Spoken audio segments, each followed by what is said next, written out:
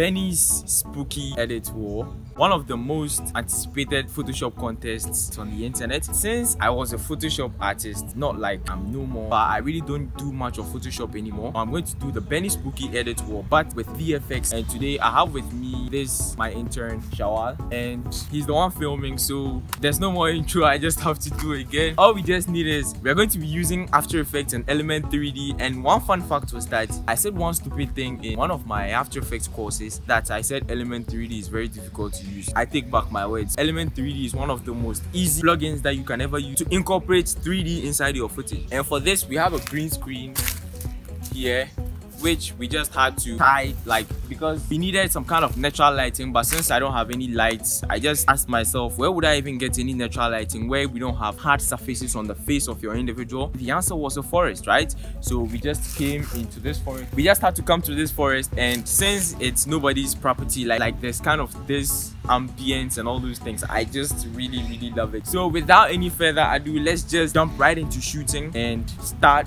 the compositing and everything in after effects and element 3d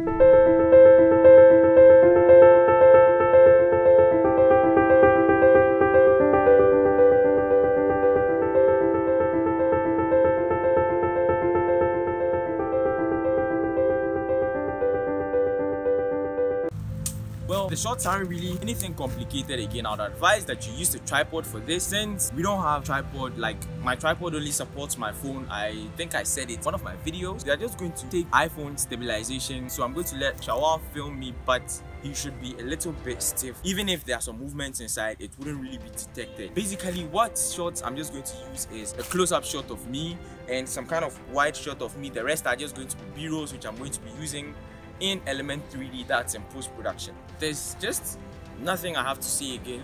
All we just need to do is jump right in front of our green screen and then I'm already in America. I'm in Maldives and I'm in Seychelles Island. So basically what I'm going to do is I'm going to recreate it with the song itself. I just searched on YouTube and I found it here can the camera see it? So i'm going to play it and just follow it. If there are any necessary things we have to do again then i'll just do it. Like the hand coming out i think we'll be using a leaf for that. With this leaf or we can just find a pile of sand and put our hands out of it which is very simple to do.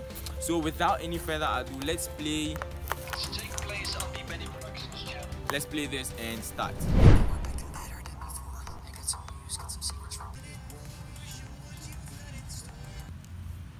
Well, I can say the whole process took almost 12 hours to make. That's if I just estimate all the time I used to make it.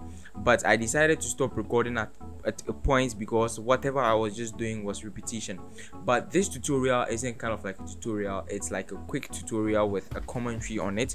In case you do not understand anything and you'd like me to explain deeper, just leave a comment in the comment section and I'll be glad to do it for you. Well, without any further ado, then let's just jump right into Cinema 4D and start modeling our landscape. Well the first thing i just had to do was to go into cinema 4d get some landscapes and duplicate them rotate them in order to create some kind of a relief structure.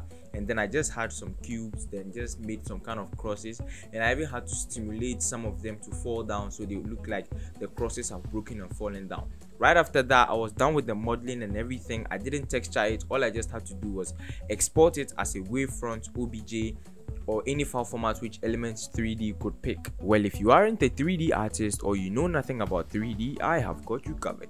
In the link in the description is a Google Drive file where I have the OBJ file and all the textures that I use to make my model and everything in Element 3D. So you can just check the first or second link in the description to know more. Well, jumping back right into After Effects, you're going to create a new composition and create a new solid and move on to the effects panel and look for the Element 3D plugin or just go right into the effects, go to Video Copilot and click on Element and apply it to your new solid.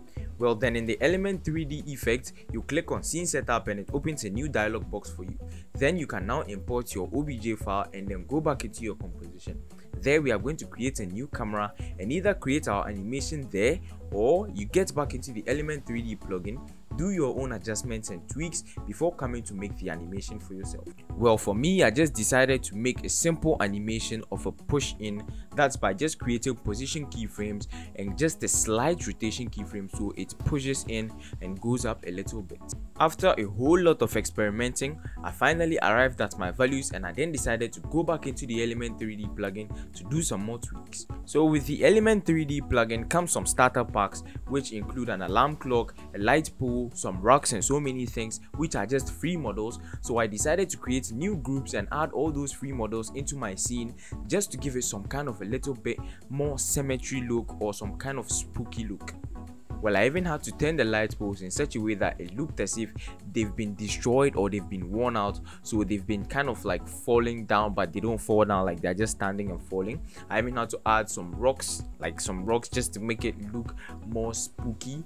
Then a lot more, I just have to duplicate my landscape because it kind of looked too flat in the area so many things i had to do which took me a lot of time so just in case you are at home and you have more time you can basically experiment with so many things that you want. And i wouldn't really lie to you guys this was my first time of ever using the element 3d plugin without watching any tutorial. Element 3d is very very very easy to use.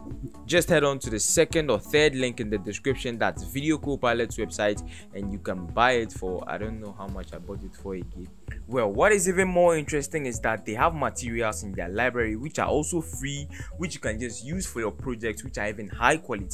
But I decided to go with my own materials. I just had a JPEG image from the internet, then I used Materialize to get my bump maps, my diffuse maps, my specular maps, and everything. And then I just added it right onto my scene, and it looked perfect. I even had to add some fog, add some contrast, brightness, so many other things just to tie my scene up to something more spooky.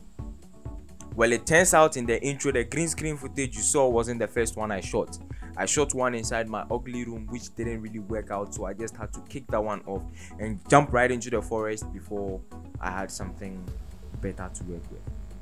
And Google was one of my saviors again. I just had to jump right into Google, get some night sky pictures, get some moon pictures, get some three brushes and so many things i just had to go into photoshop paint some three brushes and make it look like a forest.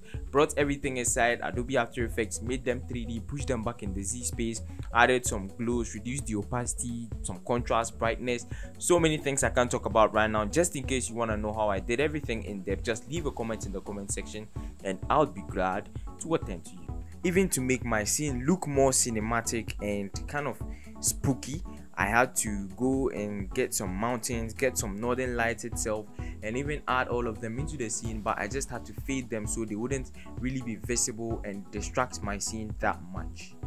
What would be a spooky scene without some smoke? Then I just had to jump right into YouTube and get some copyright free smoke assets and just come and bump them right into my scene and make it look more smoky, spooky, spooky, creepy, well a lot more had to be done to the scene just to make it look more cinematic like adding bats adding some photo filters adding a lot of contrast doing some more adjustments and even a haunted house i just had to play play play play play play play for almost up to five hours before i could get something fitting.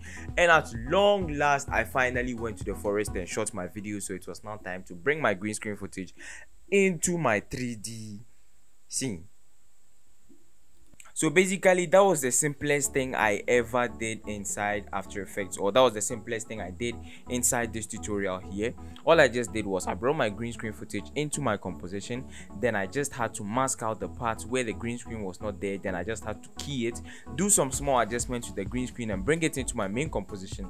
Then i just had to add some brightness contrast photo filters just to make it match my scene and make it 3d push it back in Z space, make sure your 3D layer is on top of it or you can mask out to give the illusion that he's standing behind some kind of landscapes or some crosses. It depends on your creative taste. So this was kind of like the easiest part. I'm not going to talk in depth again. Just in case you want to see a tutorial leave it in the description.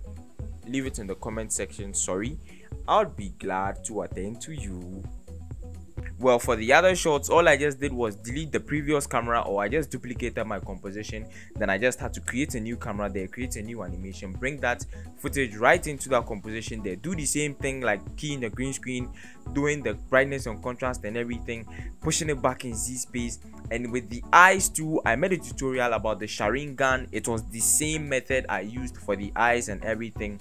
And at long last i was finally done with all the fucking compositing. It was now time to jump right into Premiere Pro and now start cutting, cutting, cutting, cutting, cutting all my scenes, putting everything in order, and just finishing everything up with an overall color grade. As i already said that was the part i didn't record. You guys didn't need to see that. In case you want to learn premiere pro i did some tutorials when i was a beginner but you guys can check them out. They are very very comprehensive. You can learn from them. And at the end of it all we're able to create something like this i just hope benny does not put a copyright on his song because i stole some of his visuals and some of his songs and his whole song so let's just go watch it and experience some magic from Farid.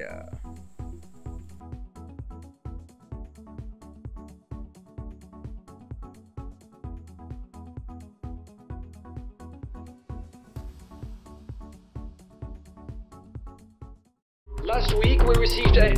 I'm, I'm, I'm sorry, we seem to be experiencing some technical difficulties. Please stand by. Welcome back to Benny Spooky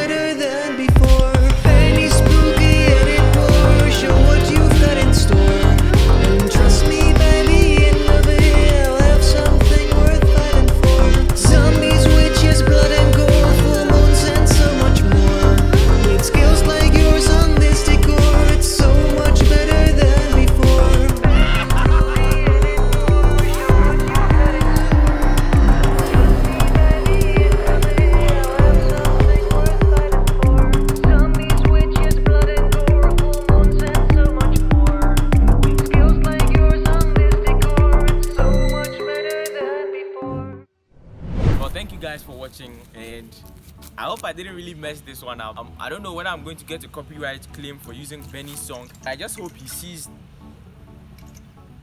i just hope he sees this and he kind of likes it. Or i just hope someone sees this and also likes it so if this video helped you you can leave it a comment or you can subscribe if you're just new here. We talk all about filmmaking visual effects premiere pro after effects so much more. You can check out andrew kramer's element 3d link in the description after effects 101 is still running you can check it in the description again if you haven't watched my short death battle i think link in the description again you can check it out in case you use my tutorial to create something great you can just tag me on Instagram when you post it at Lilpap Studios or Facebook at Lilpap Studios or WhatsApp link in the description again. And just in case you want to see me fire my intern or you just want like he shouldn't come again, leave it in the comment section and I'll do it because what he just does is film. What does he even do? Ah. Okay, so till next week, get some creative ideas and see my mom. Keep it real.